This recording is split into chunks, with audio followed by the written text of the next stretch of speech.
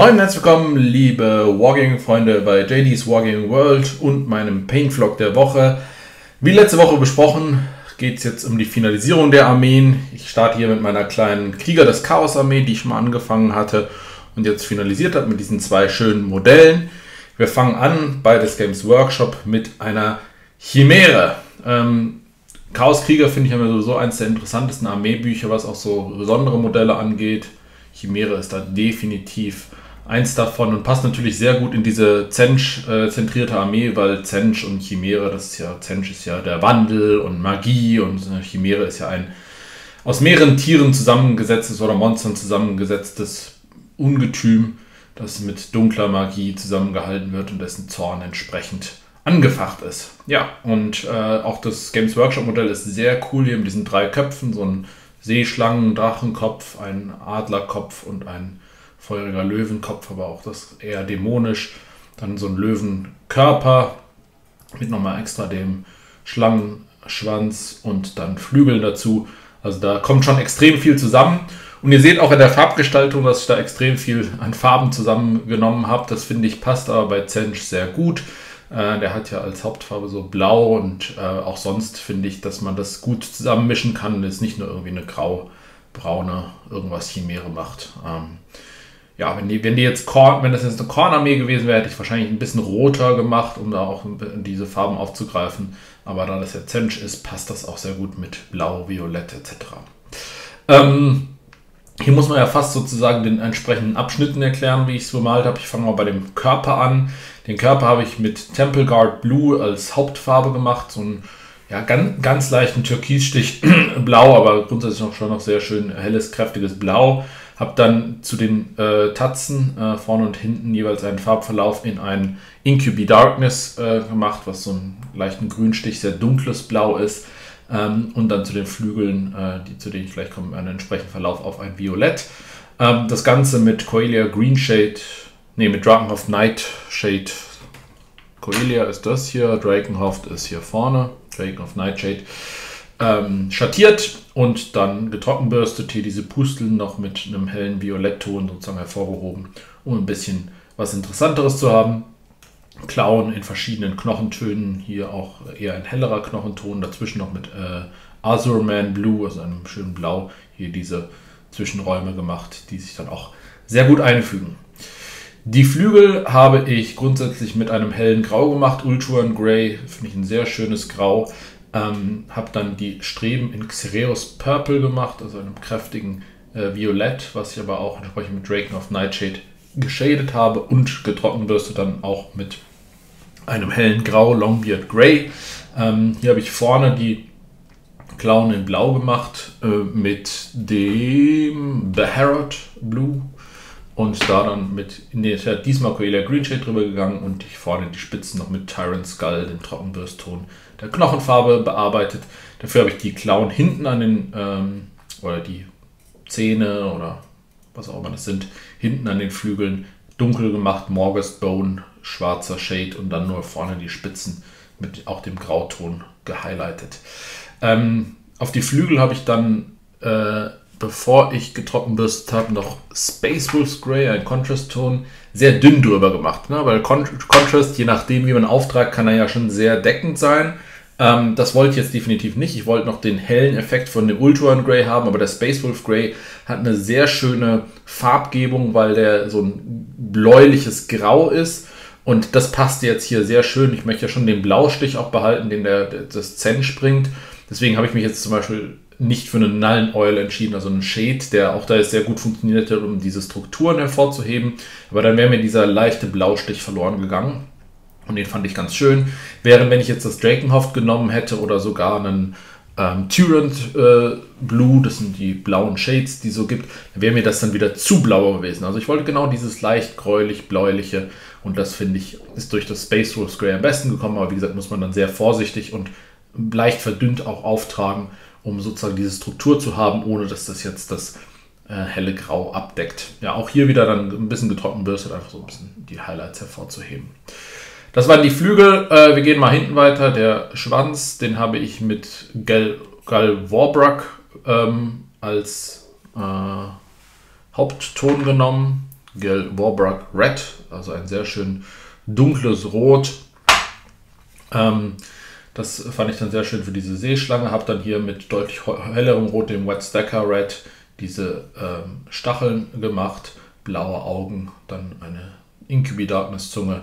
Das Ganze auch getrocknet bürstet, erst mit äh, Changeling Pink, also einem leichten Pinkton und dann auch nochmal vorsichtig mit dem Longbeard Grey, damit es einfach, das ist immer ganz gut bei so fa vielen Farben, die man an der Figur hat, dann mit einem ähnlichen ähm, Trockenbürstton drüber zu gehen, um sozusagen das Ganze ein bisschen einheitlicher zu ziehen. Auch hier seht ihr, habe ich mit einem Pinsel den Farbverlauf gemacht. Wie ich diese Farbverläufe male, also ich weiß, es gibt ja viele Leute, die dann auch mit äh, Airbrush arbeiten, wobei ich, hätte ich jetzt gar nicht gewusst, wie man das machen soll bei so vielen verschiedenen Farben. Das geht ja eigentlich nur bei einem Farbverlauf. Ähm, ist, ich ähm, lasse sozusagen beide Seiten relativ feucht mit der Farbe und ziehe dann mit so einem Schwingpinsel ist das das ganz vorsichtig, also je nachdem, wie ich den Verlauf haben will. Ich glaube, in dem Fall habe ich sozusagen von hier darüber gezogen. Und bevor ich den nächsten ziehe, muss ich den aber schön sauber machen, weil ansonsten äh, vermische ich die Farben und habe sozusagen nicht diesen gezogenen Farbverlauf. Also das habe ich irgendwann mal als Technik gesehen und fand ich sehr sinnvoll und die Ergebnisse sind auch sehr schön. Kommen wir vorne zu den Schädeln. Hier haben wir erstmal diesen Adler. Ähm, den habe ich in der Tat schwarz gemacht. Äh, also insofern, da gibt es gar nicht so viel zu sagen. Einfach schwarz gemalt. Da habe ich jetzt auch keinen Farbverlauf gemacht, weil die Federn hier sehr schön aufgesetzt sind auf die Haut. Also sozusagen, da gibt es keinen Übergang. Insofern habe ich sozusagen nur die aufgesetzten Federn hier schwarz gemacht. Dann mit Dawnstone, einem dunkleren Grau getrocknet bürstet und dann auch ganz am Ende mit dem äh, Longbeard Grey. Grüne Augen hier, auch ein bisschen violett äh, oder nee, pink ist das in, in den Schnabel rein und das aber auch mit viel schwarzem Shade, um sozusagen diese Angleichung zu haben. Dann diese Seeschlange habe ich grün gemacht, das fand ich dann natürlich sehr passend. Äh, Caliban Green, also ein sehr dunkles Grün, hier in der Tat wieder mit Farbverlauf, weil das ja ineinander übergeht. Habe dann hier oben diesen Kamm ähm, mit Grau vorgemalt, auch dem Ultron Grey. Und dann bin ich jetzt mit dem Contrast sehr viel stärker reingegangen. Deswegen ist auch sozusagen der Farbeffekt äh, stärker mit Warp Lightning. Ähm, habe dann das Ganze äh, auch hier wieder getrocknet bürstet, diese Pusteln rot gemacht. Hier vorne das sind irgendwie so aus äh, äh, Erhebungen, ähm, die wahrscheinlich irgendwie auch Schleimkammern oder Feuerkammern oder was auch immer sind. Die habe ich auch noch rot gemacht, habe das Ganze auch hier mit zwei Trockenbürstönen ähm, bearbeitet. Zum einen mit dem Niblet Green, das ist ein sehr schön heller Grünton, ist sehr vorsichtig, sonst wird es zu grünlich. Und dann auch hier wieder mit dem Grau drüber, die Stacheln hier noch in verschiedenen Tönen gemacht. Das vorne grau mit ähm, Tyrant Skull dann da drüber. Und ich finde auch die, die Schlange ist wirklich sehr schön geworden. Gelbe Augen, die da so leuchten. Ähm, passt da sehr gut zu. Und dann haben wir noch diesen feurigen Löwen, den habe ich entsprechend auch orange gemacht, Shoal Slayer Orange. Bin dann ähm, mit äh, Nullen Oil, also mit dem schwarzen Shade reingegangen, um einen schönen Kontrast zu haben. Auch hier wieder zwei Trockenbürstöne. Erst das Kindle, Kindle Flame und dann das Longbeard Grey. Habe hier oben diese Stacheln noch leicht äh, mit Knochenfarbe, auch hier nur getrocknet bürstet und hier vorne die mit einem dunklen Rot Baragner Burgundy und dann vorne weiß oder grau getrocknet bürstet die Zunge in einem Wattstacker Red und auch hier vorne orange mit ein bisschen Kindle Flame, ein paar Knochen-Highlights drauf, eher dunklere Zähne, Morgus Bone und auch hier wieder reichlich mit Nullen Oil geschadet, graue Nase noch. Ja, das war die ähm, Chimäre, habe noch den Boden gemacht. Der Boden, ihr seht es, ist auch schon beflockt. Die Idee dahinter ist ein ähm, von Zenchs Magie verseuchter Schneeboden.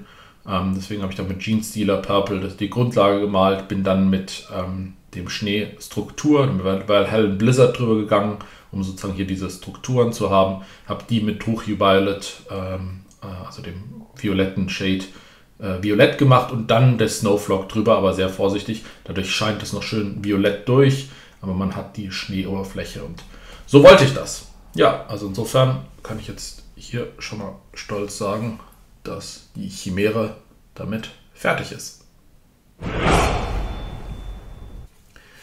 Es fehlt noch der Armeegeneral und was könnte es besser sein als ein Hexer des Zench auf einem Flugdämon. Das finde ich passt dann sehr gut.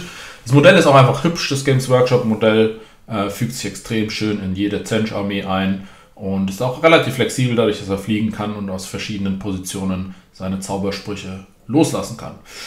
Ähm, grundsätzlich blau-gold, das sind die Farben des Zenchs und die finden sich auch hier wieder. Ich habe hier unten eine blaue Flamme gemacht. Die habe ich so gemacht, dass ich erst mit einem hellen Blauton, Balor Blut rübergegangen bin und dann verschiedene ähm, Contrast und Shades mit Azurman Blue eher die unteren äh, Teile dieser Flamme gemacht. Ähm, Tyrant Skull, das ist das äh, Shade, dann Tyrant Blue, Entschuldigung, Tyrant Skull ist natürlich Tyrant Blue. Die oberen Teile dann in die innersten Dinge noch mit Drakenhoff Nightshade im dunkleren reingegangen und das Ganze dann weiß getroffen bürstet, um diesen Flammeneffekt zu haben. Ähm, die Disc an sich habe ich mit Canaptec Alloy gemacht, ähm, auch ein sehr schöner Farbton der sich ähm, so zwischen Gold und Silber befindet und dadurch sehr gut eignet, um solche Strukturen zu machen. Habe dann hier leicht mit Shade oben die äh, Struktur nachgezogen. Davor in diesen Schlund äh, erst mit, Viol äh, mit Rosa, also wirklich so ein ganz knalliges Rosa Fulgrim Pink äh, gemacht. Die Tentakel, auf denen der da auch steht und die hier unten rauskommen, dann mit einem kräftigeren Rosa dem Pink Horror, was ja auch zu Zench passt, weil Pink Horror sind ja die rosa Horror, sind ja eigentlich die, die einfachen Dämonensoldaten. Und dann Coelia Green Shade, das sozusagen grün gezogen, davor noch leicht getrocknet bürstet mit Skink Blue. Also ihr seht auch so rosa, wirkt jetzt gar nicht mehr rosa, weil man das einfach da reingearbeitet hat, aber finde ich, wirkt dadurch sehr schön äh, zenschig. Ja? Äh, sehr helle Zähne gemacht, nur leicht dann geschadet, um ein bisschen mehr Struktur zu bekommen. Und ja, dann hier unten hat er noch so Riffelmuster, diese Disc und die habe ich mit einem Blue, blauen Glaze gemacht. Das gab es früher mal als Farbe. Das ist ein äh, sehr dünner Ton, der aber sehr hell ist. Könnte man wahrscheinlich heute auch einfach mit einem hellen Contrast. Also zum Beispiel der Azurman Blue kriegt man wahrscheinlich einen ähnlichen Effekt raus. Und das ist sozusagen das Magische, das das zum Schweben bringt. Grey Knight Stil habe ich die ähm, Klauen oder die Klingen hier gemacht. Vorne dann mit ähm, Stormhost Silver die Schärfen und diese kleinen Zench-Symbole habe ich noch mit dem äh, Contrast Violett, ähm, Luxion Purple, kann ich noch nicht so gut, weil ich es noch nicht so lange habe, ähm, Violett hervorgehoben, damit es leuchtet. Dann kommen wir zum Hexer an sich. Der hat eine Haut aus Deepkin Flash, äh, das auch nochmal ganz vorsichtig mit Coelia Greenshade bearbeitet ist und das ist wirklich vorsichtig, weil sonst wird es zu blau. Also da musste man wirklich, ich habe es auch sogar leicht verdünnt, also den Pinsel erst in Wasser getan, dann ganz leicht in das Coela Green Shade und dann sowohl im Gesicht als auch sozusagen hier über diese eingewachsene Hexerkrone und hier unten an den Füßen entsprechend drüber gegangen. Das Ganze dann nochmal weiß getrocken bürstet. Ähm, den Umhang hier auch mit einem Farbverlauf, gleiche Technik wie vorhin bei der äh, Chimäre. Unten äh, Ariman Blue, oben das Beharrod Blue und das Ganze habe ich dann in den Falten mit einem violetten Shade gemacht, also nicht mit dem Draken of Night, einfach um noch mehr Farbkontraste und Magisches reinzubringen. Und dann habe ich die noch mit einem Goldton getrocken bürstet, weil das fand ich jetzt auch beim Zension, gerade beim Hexer passend, der dann so eine goldschimmernde Robe hat.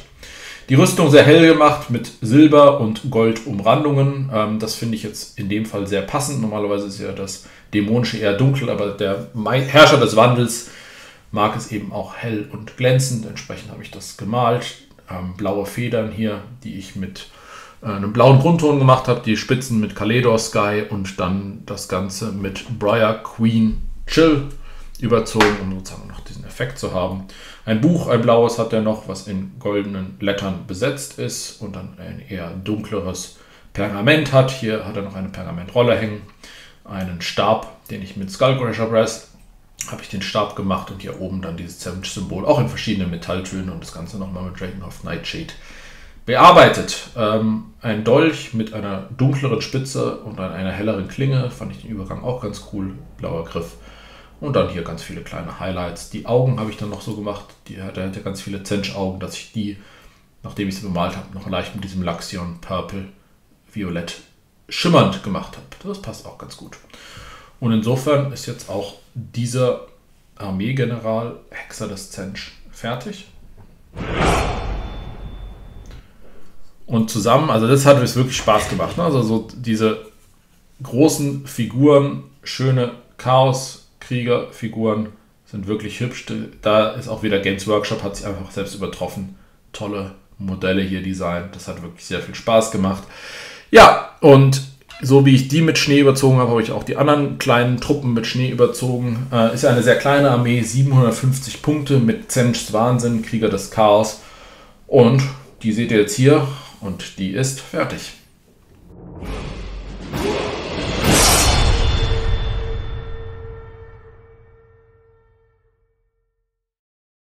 Danke fürs Einschalten diese Woche. Ähm, ihr habt gesehen, äh, tolle kleine Armee fertig gemacht mit wirklich sehr schönen Modellen. Es macht einfach Spaß, so aufwendige, große Modelle zu malen. Äh, nächste Woche geht es dann weiter mit mehr Armeen und ich hoffe, dann schaltet ihr auch ein. Lasst jetzt gerne ein Like da ähm, und wenn ihr den Herrscher des Wandels mögt, dann auch vielleicht ein Abo. Und dann würde ich mich freuen, wenn ihr nächste Woche auch wieder dabei seid. Ciao, euer JD.